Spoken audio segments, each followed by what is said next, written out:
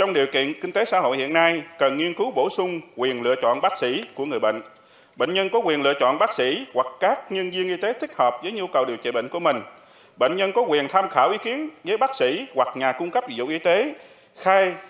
y tế khác khi thấy cần. Trong thực tế, các dịch vụ phẫu thuật hiện nay ở các bệnh viện lớn đã sử dụng quyền này cho người bệnh. Thứ hai,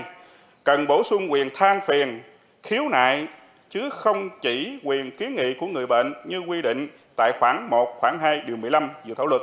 Có nghĩa là bệnh nhân có quyền được giải quyết một cách công bằng, nhanh chóng và khách quan mọi than phiền của mình đối với cơ sở điều trị, phát đồ điều trị, bác sĩ hoặc các người cung cấp dịch vụ y tế khác. Các than phiền này bao gồm thời gian chờ đợi quá lâu, giờ giấc không thích hợp, cách đối xử của nhân viên y tế, tiện nghi của các cơ sở điều trị,